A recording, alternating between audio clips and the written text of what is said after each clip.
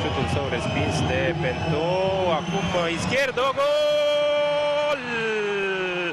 Deschide scorul uh, chiar în primul minut de prelungire. Columbianul uh, Izquierdo reușește să strecoare mingea în poartă cu toată poziția lui uh, Pento. 1 la 0 pentru FC Bruj. A 12-a reușită a atacantului de 24 de ani exultă suporterii lui Bruj. S-a descrețit și fruntea lui Michel Predom. Vedem această combinație și pasa foarte bună pe care o dă Rotariu asist care îl pune în această situație de gol. Nu era un unghi extraordinar, însă abilitatea colombianului face ca mingea să se strecoare pe sprinde, o pune jos acolo și apoi exact în curtea școlii vine elevul mai mare și ia mingea și o aruncă în plasă.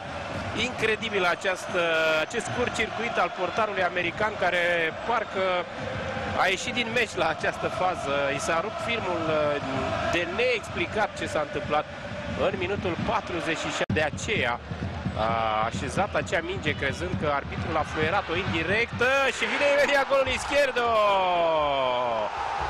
Iată ce răsturnare de situație într-un minut și jumătate. Izquierdo face dubla. Nebunie pe stadionul din Charleroi.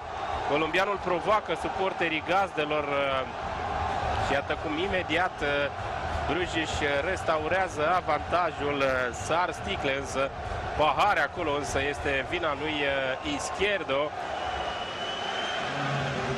2 la 1 pentru Bruj, iată.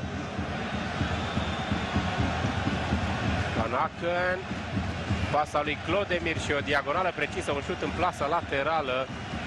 După ce brazilianul îl servește excelent pe columbian 2 la 1 după gafa lui Horvat și reușita lui Pole vine iar pe Digisport 3 e acum golul lui Izquierdo.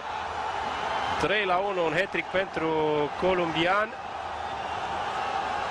Încă o calamitate în defensiva celor de la Sporting Charleroi și nu iartă încă o dată acest Izquierdo care reușește hetricul și îi dă mai multe liniște. Va lua mingea acasă, însă nu acum această fază, un gol britanic aș putea spune.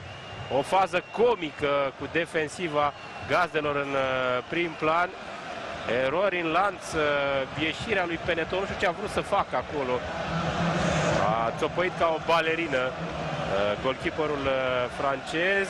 Și practic s-a auto-exclus din această fază. N-a putut repara niciun fel de Soleil. 3 la 1 și lucrurile încep să se clarifice în minutul